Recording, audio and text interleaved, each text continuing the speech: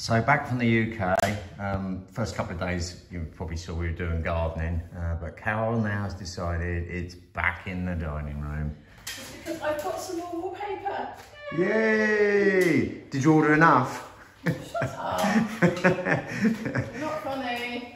So um, you're going to finish this off today, are you?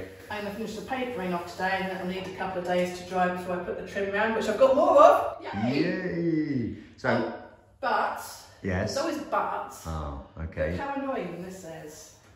Um, okay. I mean, it's worse on the other side. There's a one and a half centimetre gap each side that I've got to patch. Oh, well, that's smaller than the other side, is what you're saying. Very slightly. Oh, okay. But at least all the paper's going to be finished today. Finally. Hey, and then and then the next task will be. I'm guessing you still got still got mouldings. Yeah, put the trim round, um, finish that off in the next couple of days, and then finish off the mouldings. I'm just taking it slowly so I don't get fed up and bored and frustrated. Darling, you never get frustrated or bored. Everyone knows that's true. I mean, false. Uh-uh. um, oh, No, in future, no saying crack on. Oh, is that a banned? That's a banned word. Okay, I'll think of another word then to use. Actually, do you know what? While you're working in here, this is so good to see. So Carol's opened up the doors so she can do a, but when you look through, wow. I mean, I know the chandelier in there's a bit low at the moment, but yeah, actually, it's very rare we have those doors open, isn't it, Carol? And crumbs, what a difference it makes, even with the light. Quite looking forward to actually seeing this room finish. So am I. Yes, we can get the dining room. We can actually come and eat in here instead of in our little temporary kitchen. I could hear the sewing machine going, and after knowing you were uh, doing everything by hand, Yeah, but I'm putting six inch heading tape on these curtains and they need to be strong because of the weight. So I'm using the sewing machine.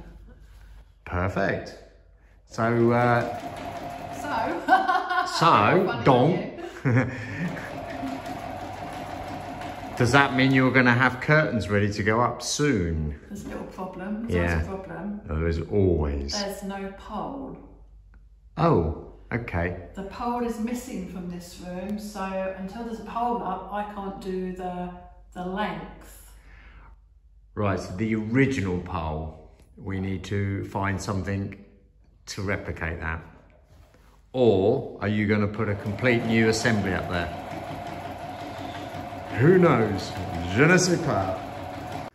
Well, our challenge today, uh, Carol wants to get the curtains up. We cannot find a pole that fits this. It's obviously uh, been uh, um, disposed of somewhere. So we have got a spare pole, it's too long, um, which we're gonna have to shorten. Now it's cast iron, which makes, uh, we can't just bend the end. So if I explain what we're saying here, each end goes into an eye up there. And if you turn that, Carol, where is it? There it is, like that.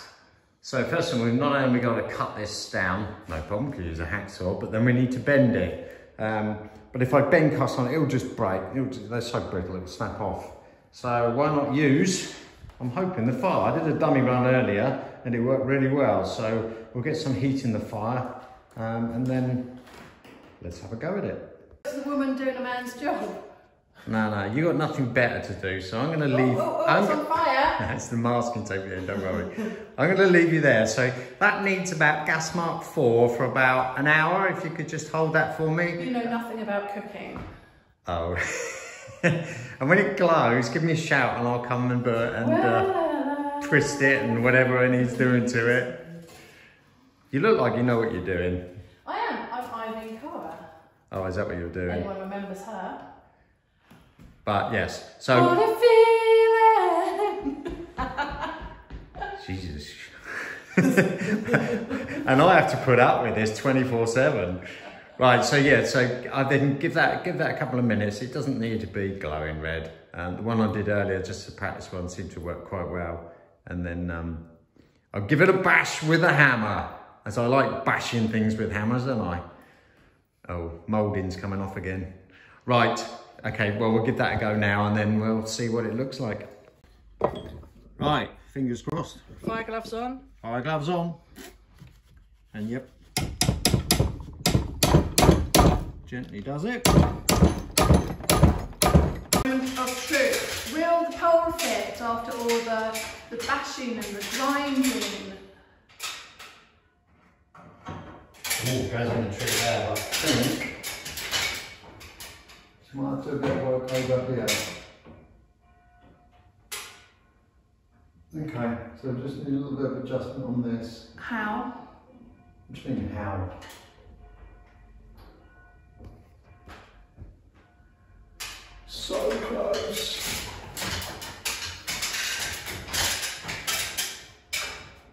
But that goes in nicely now. No good if it's not long enough though. I'm not going to answer that. Do I look like a bloody blacksmith? Ha ha, cleaning again, are we? Really not funny, hmm. and I'm Got- really not enjoying it. So why not? Have you got your marigolds on? Yes. Oh, well done. I want to get these curtains up, but obviously I've got to clean the frames. I thought I'd cleaned them already. Ah, and so cleaning again. Oh, what's the masking tape up the top I just seen on the mouldings? Well, that was you knocked off the corner when you put the pole up. Are you sure? I was so careful, you little liar. The good news is the pole fits. So after a bit of messing around, at least we've got a pole up there now. so curtains are going up today. Is that- this is clean or not? that's what I was going to ask. Okay, so whatever happens, whether it snows or whatever, it's going to go. They're going to go up today. I'm supposed to be grouting the tiles, but You I are. don't know, I don't know which job's worse. Well, if we do the grouting, then that, that ensuite is finished, ready to now put in the shower assembly. So it's up to you. No, no, no, no, no, because then I've got to seal it. Oh, I've got it up, I can see that. um, but I'm going to have to take it down again because I've got to, I need to put it up, see about the length. But if you like, we could just go for this effect that's called puddling. I call it cleaning the floor, actually. Yeah, I don't like it either. No. Totally impractical, but that's what it's called. So people actually do that and just leave it gathered like that on the Leave floor. On the, I have cleaned the floor. Leave it on the floor like that, and it's called puddling. Hmm. Okay. It's not for me either. You'll, Yeah, so I've got to take it down again. I- I've just pinned the length. Take it down. Sew the hem. Put it back up. never ends, does it? I'm not sure if I like it. Oh, don't say that. Do you know what? Even if you like it or don't like it, for the moment, it will suffice, won't it? It goes nice with the woodwork though, look.